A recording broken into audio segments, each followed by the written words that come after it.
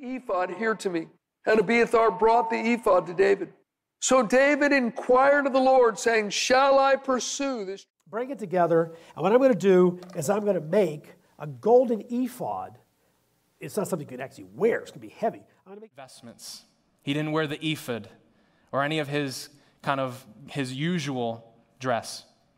But that on the day of a sacrifice or sacred pillar without ephod, that is the uh, attire of the high priest by which he would discern the will of God. Also, very open.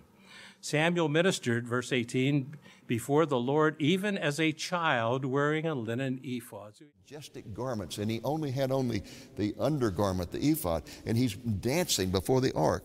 David and all the house of Israel. With all his might, and David was girded with a linen ephod. That was the garment reserved strictly.